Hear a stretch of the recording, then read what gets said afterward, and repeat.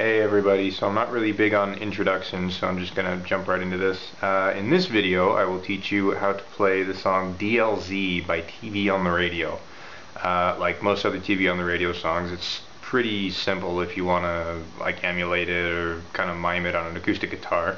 Uh, there's just three basic chords you're going to have to play. And I learned these from a tab that I will link to, um, and this is the way that they were originally played, then I'm going to show you an easier way to play them. So it's a very simple pattern, and as I said, there's only three chords, but it goes uh, A flat minor, which is yeah, I don't really like it because it's it's a you know it's a really bar sort of bar chord. It's very annoying to play, and there's not a lot of easy ways to play it on the guitar. I mean, you could do it in the the D position up here, and that's minor, so you have to go like that. But it's it's the same thing. It just doesn't.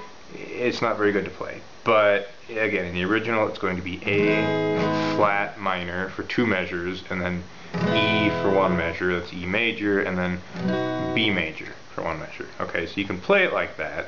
Again, that is the tab where I learned how to play it, which I've linked to. Um, but I prefer a different sort of method, and that is where you capo it on the fourth fret, okay, and all it's going to be, this is much easier I think, is uh, E minor which when it's capo is actually the same thing as a A flat minor, and then you're going to play C, which is the same thing as E because this is E, right?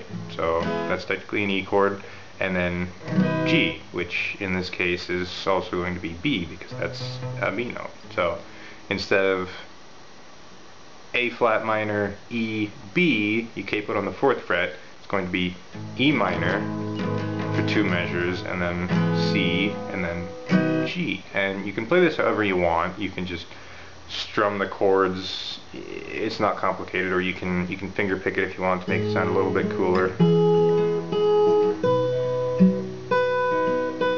Um, I like alternating between the two, but it depends on what you like, and it works out like this. So. Congratulations on the mess you made trying to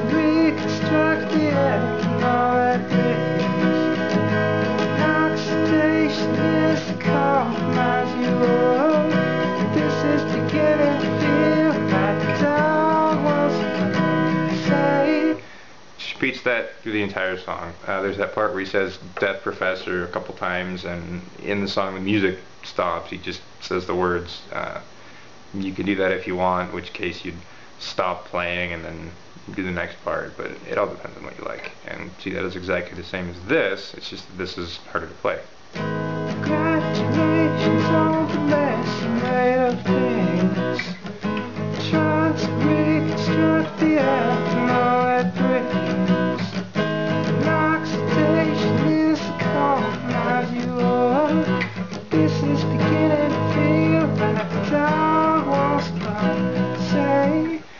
The other thing I like about capoing it is you can put it up here and do it in the original key, but if that's a little harder to sing, if you want to do it differently, all you have to do is move your capo down, say to the second fret, and play the same chords, E, C, and G, so you don't have to worry about transposing anything or any of that nonsense. So that's about it. It's pretty basic. It just follows that throughout the entire song. Um, play it however you want. It's all up to you.